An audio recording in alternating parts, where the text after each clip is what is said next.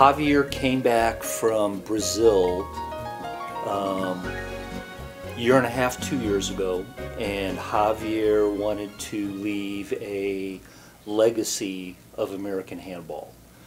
and he moved back to the Springs, which is where I live, and got re-engaged with the sport and then came over to uh, my house with uh, Linda one night and basically said, we need help.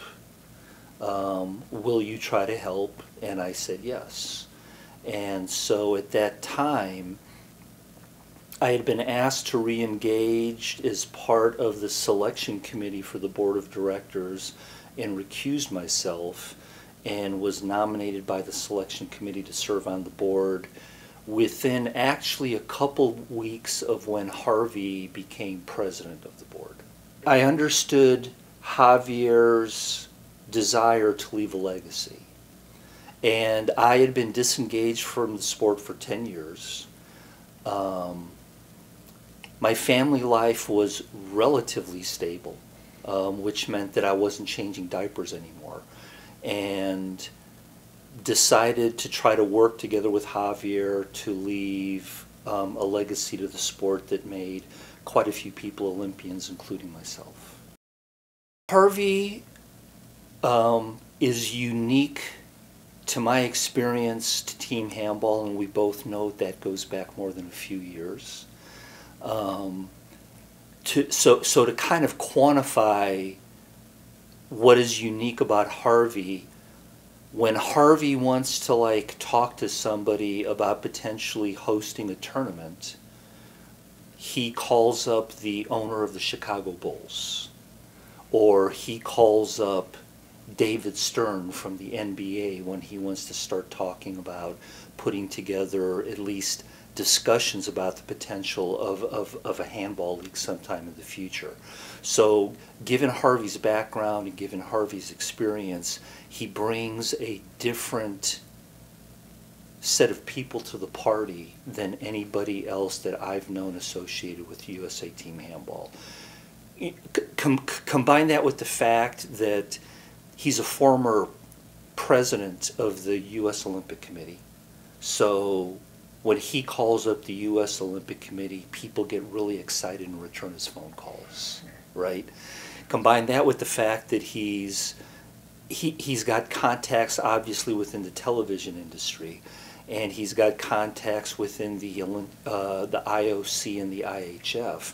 So Harvey brings a new level of contacts and credibility to the sport that we arguably haven't had in the past.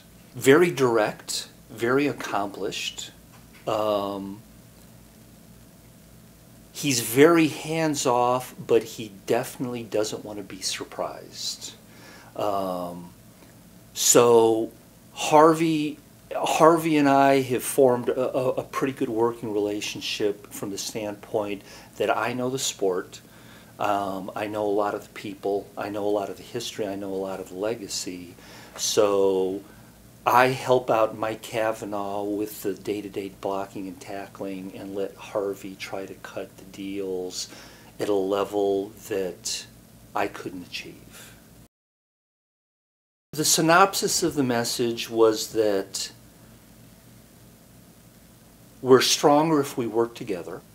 Okay, so you know it, it, it's it's pretty funny um, to have been engaged with the sport and then have disengaged for ten years, much to my shame. Um, as an Olympian, as an alumni, I, you know I shouldn't have done that, but it, it, it was pretty funny to be at the annual meeting and to hear the voice of the membership. And basically it was the same story from 10 years ago 20 years ago 30 years ago 40 years ago right? Um, and, and, you know having had this, the, the, the chance to step away for 10 years and then come back with a relatively fresh perspective um, what, it, what, what is obvious, we, we have a membership of around 700 people. And everybody has an opinion, everybody has a direction that they think the organization should go. And ultimately, what it comes down to is even if we agree to disagree, we're stronger working together than we are trying to splinter and do our things individually across the country, right? So that was the main part of my message. Um, you know, the other part of my message was that when, when Harvey and I started, and then one of the first things we did was hire Mike Cavanaugh back from table tennis. Um, we decided to make a run for the Pan American Games in Toronto, and unfortunately, we didn't qualify um, with you know uh, against Uruguay. Um, we, we, we made the run for Toronto for a variety of reasons to establish, reestablish credibility with the USOC. Um, there were some potential sponsorship dollars attached to qualifying for Toronto that we wanted to chase. Um, the, it was an opportunity to establish like some credibility with what we're trying to do in Auburn and with our national teams, and it didn't work out. And so the message yesterday to the membership was we are now focused on 2020. We're focused on governance. Um, it is there's been quite a bit of churn, evidently, within USA Team Handball the last 10 years. Um, and part of Harvey's legacy, part of my legacy, part of Cavi's legacy is to leave in place process and procedure and governance that will stand the test of time and allow us to put the building blocks in place so we can grow this sport properly moving forward. What excites me is First of all, it's, it, it's a great sport. We all know that. We've known that for a while. Um, but what excites me right now is that after 14, 15 months of being in this position and working with Harvey, um, the, I, I can see the pieces starting to come together to build for the future. Um, I am seeing people from the past willing to re-engage, right?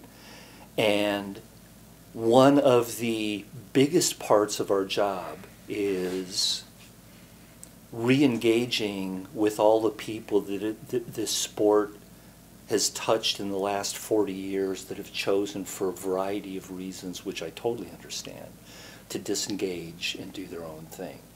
But there's a, there, there's a sizable population of people that this port has positively touched. My personal best friendships in my life came out of team handball. I think there's a lot of people associated with team handball that can say the same thing. And so, so part of our job is to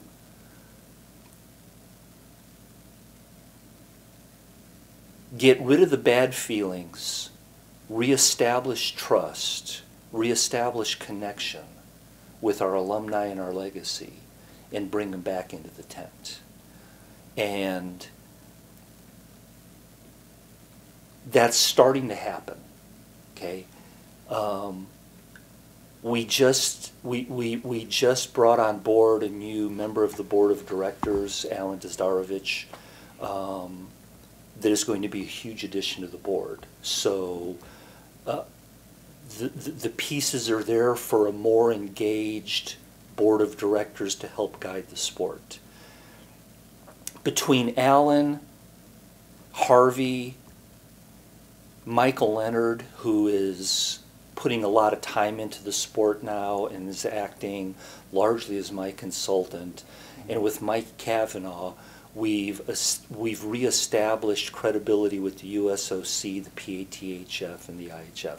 So the pieces are starting to come in place. Um, one of the things I said to the membership last night that is that that's a source of frustration to me is that we have a staff of one.